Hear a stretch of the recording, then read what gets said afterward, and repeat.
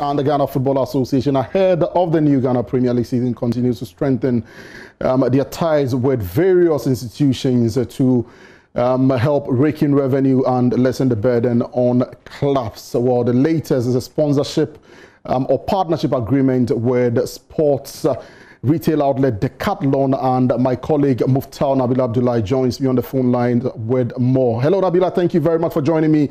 And what can you tell us about this latest partnership between the Ghana Football Association and Decathlon? Um, uh, Hans, um, is one of such sponsorships or partnerships that someone would look at and say the current leadership of the Ghana Football Association are putting in all efforts to ensure that football in the country um, grows. Um, this partnership specifically is for a women's game, and it is a four-year duration that was signed just uh, about 30 minutes ago between the Ghana Football Association and uh, Decathlon Ghana. Um, in terms of monetary terms, um, we are made to understand that every single year the partnership between the Ghana Football Association and that of Decathlon is 1 million Ghana cedis.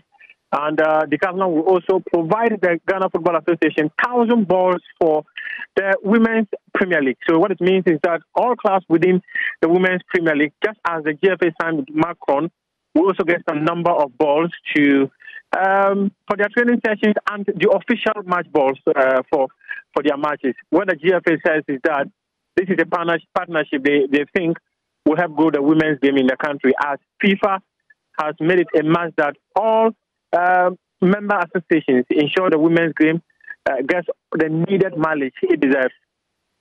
Well, thank you very much, um, Muftawu Nabila Abdulai, and bringing us details from the latest partnership signed between the Ghana Football Association and sports retail outlet Decathlon.